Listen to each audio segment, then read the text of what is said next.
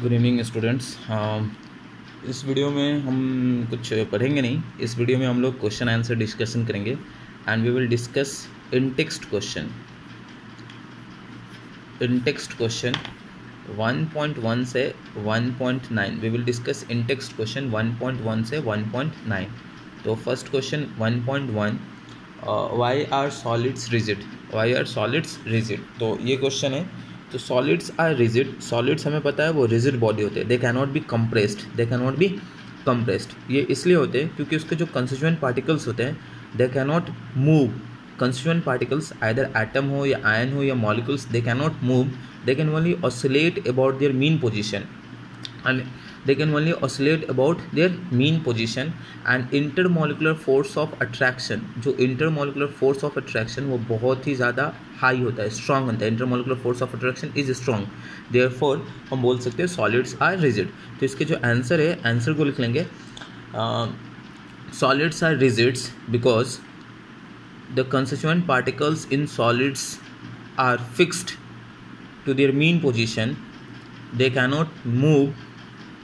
comma, they can only oscillate or vibrate about their position. And the intermolecular force of attraction and the intermolecular force of attraction in solids are very are very strong okay so this was the answer of 1.1 question 1.2 1.2 question is why do solids have definite volume same solids have definite volume वही same reason intermolecular जो force of attraction बहुत ही high होता है intermolecular distance हमें पता है solids में इंटरमोलिकुलर डिस्टेंस बहुत ही कम होता है और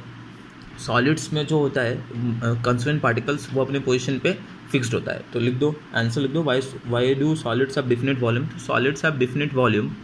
because the intermolecular forces of attractions are very high comma करके लिखेंगे the intermolecular distance are very low and the constituent particles in solids cannot move the constituent particles in solids cannot move okay next 1.3 question 1.3 में क्या बोला है classify the following as amorphous solids और crystalline solids तो amorphous and crystalline में classify करना है तो हमें पता है सॉलिड्स जो होता है सॉलिड्स के दो क्लासिफिकेशन है वी नो दैट सॉलिड्स को दो कैटेगरी में डिवाइड किया गया है first category is crystalline solids and second category is what amorphous solids तो crystalline solid is again divided into four categories metallic solid ionic solid ionic solid covalent solid and what molecular solids तो जितने भी metals होंगे they will come under crystalline solids जितने भी ionic compounds होंगे they will come under crystalline solids जितने भी covalent होंगे they will come crystalline solids जितने भी मॉलिक्यूल्स होंगे they will come crystalline solids amorphous solids में ध्यान रखेंगे अमोफोस सॉलिड्स में glass plastics any kind of plastics okay next polymers any kind of polymer जितने भी पॉलीमर्स है they will come amorphous solids okay एक ध्यान रखेंगे क्वार्ज है Q U A R T Z quartz means इसका formula होता है S I O two okay quartz is a quartz जो होता है वो कोवलेंट सॉलिड होता है तो quartz is an example of crystalline solid okay quartz is a covalent solid तो it's an example of crystalline solid लेकिन अब क्वेश्चन में दिया रहेगा quartz glass quartz glass then glass आ गया then it will come under amorphous solids quartz जो होगा only quartz लिखा है then it will come under ये एग्जाम्पल है कोवलेंट सॉलिड के covalent solid it will come under crystalline solid लेकिन quartz के साथ ग्लास होगा then it will come under amorphous solids okay crystalline solids के बारे में हमें पता है ये एक इंपॉर्टेंट प्रॉपर्टीज़ की पता है एन आइसोट्रॉपिक इन नेचर होता है एन आइसोट्रॉपिक क्या होता है एन आइसोट्रॉपिक होता है कि इसका सारा फिजिकल प्रॉपर्टीज़ जो होता है वो डिफरेंट डायरेक्शन में डिफरेंट डिफरेंट होता है वो क्यों होता है वो प्रीवियस वीडियोज़ में मैं एक्सप्लेन कर चुका हूँ amorphous solids are isotropic in nature isotropic means what all the physical properties in all the physical properties जितने भी फिजिकल प्रॉपर्टीज़ है अगर मेज़र करेंगे डिफरेंट डायरेक्शन से तो it will come same okay तो अभी हमें देखना है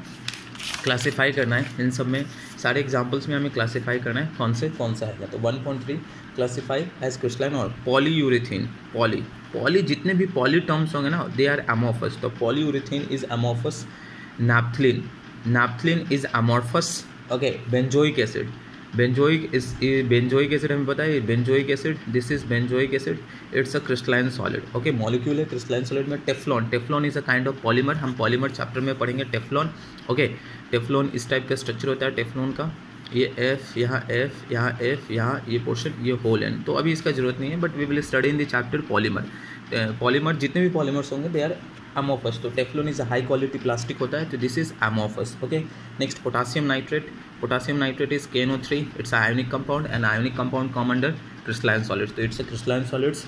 Next, cellophane. Cellophane is amorphous kind of plastic. Polyvinyl chloride, PVC. PVC is amorphous solids. Amorphous polymer है. Polymer comes under amorphous solids. Next, um, fiberglass. Fiberglass, glass is amorphous solids. Copper is metallic solid. Then it will come under crystalline solid okay why is glass consider super cool liquids तो already मैं बता चुका हूँ glass has a tendency to flow previous video में मैंने एक video बनाया था जिसमें पूरा बताया था why glass is consider super cool liquid और why it is called as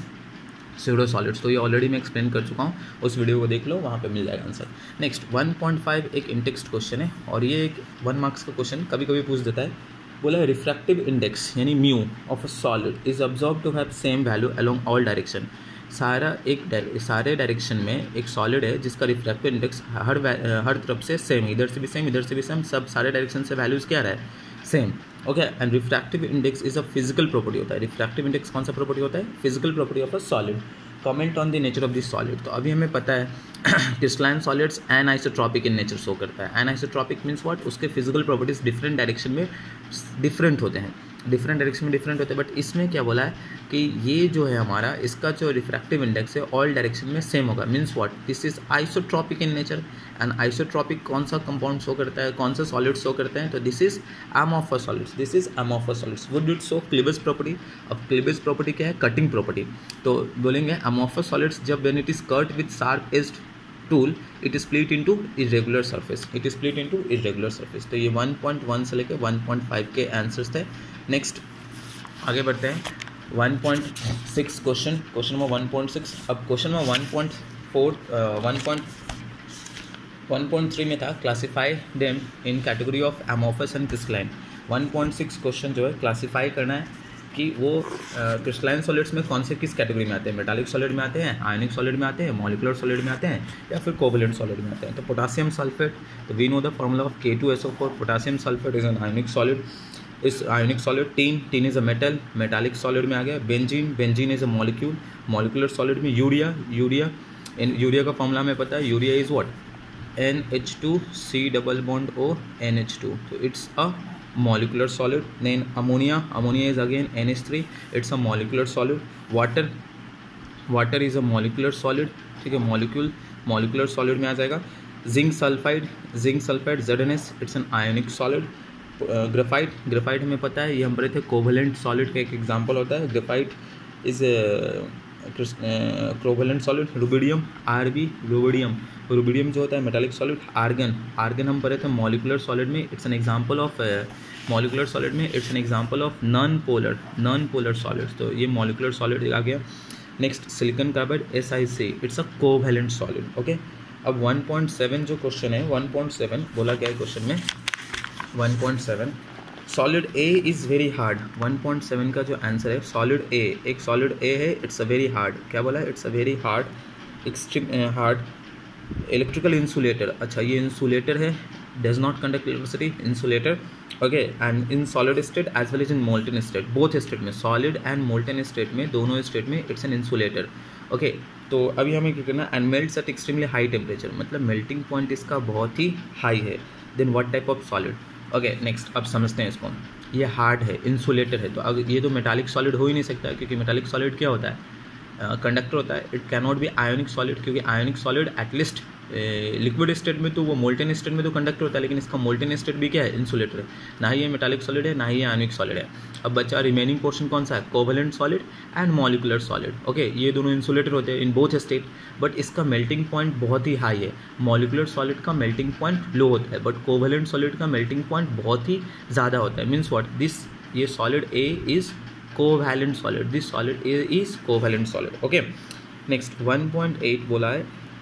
ionic solids conduct electricity in molten state but not in solid state okay हाँ हमें पता है आयनिक सॉलिड है अगर ये सॉलिड स्टेट में है तो it will not conduct electricity it will not conduct electricity it can conduct electricity in liquid state तो लिक्विड स्टेट में लाने का दो तरीका है या तो मोल्टेन एन कर देंगे मोल्टेन एन के लिए बहुत सारा हीट कर देंगे डेल्टा सिंबल मतलब हीट कर देंगे या इस पर बहुत सारा वाटर देंगे तो it will become aqueous N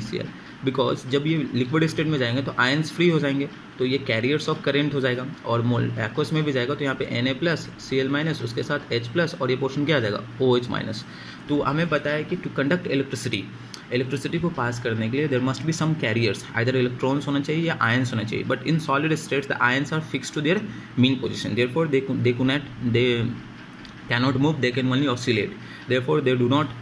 conduct electricity in solid state तो वहाँ पर लिख लेंगे ionic solids does not conduct electricity in solid state because in solid state ions are fixed to their mean position okay next 1.9 है why what type of solids are electrical conductors malleable and ductile तो conductors है electrical conductors हैं malleable है and ductile है ductile okay तो हम बोले हैं कि ये malleability and ductility it's an property of metal तो it's a metallic solid it's a metallic solid okay metallic solid ठीक है हमें पता है कंडक्टर कंडक्टर तो दो ही होता है दो ही टाइप का सॉलिड होता है एक आयोनिक सॉलिड होता है और एक कौन सा होता है मेटालिक सॉलिड अब कंडक्टर अब इसमें तो ये सिर्फ लिक्विड स्टेट में होता है बट मेलेबिलिटी एंड डक्टिलिटी किसका प्रॉपर्टी मेटालिक सॉलिड का हाँ आयोनिक का प्रॉपर्टी था hard but brittle but malleability and ductility is a property of metallic solid तो ये इसका आंसर था इट्स अ मेटालिक सॉलिड्स तो these are the intext question from one to one point nine okay तो इसको notebook में अच्छे से इतने क्वेश्चन को लिख देंगे नेक्स्ट क्लास में we will continue with the no portion अभी तक हम जितना कवर कर चुके हैं if you go to the contents of chapter जो मैंने कंटेंट्स लिखवाया था लेक्चर टू में तो उसमें पहला कंटेंट था फर्स्ट पॉइंट था क्वेश्चंस uh, eh, जो मैंने क्वेश्चंस मैंने कवर कर चुका है सेकेंड जो था types of solids amorphous solids crystalline solids उसको कवर कर चुके हैं थर्ड जो वीडियो था थर्ड जो कंटेंट था टाइप्स ऑफ क्रिस्टलाइन सॉलिड्स उसको भी हम कवर कर चुके हैं नेक्स्ट पॉइंट जो है हमारा डिफेक्ट्स तो next from next class onwards from next video we will go through the portion defects next video में हम डिफेक्ट्स पढ़ेंगे इट्स एन इंपॉर्टेंट पोर्शन ये बहुत ही इंपॉर्टेंट पोर्शन है बोर्ड एग्जामिनेशन के लिए as well as for your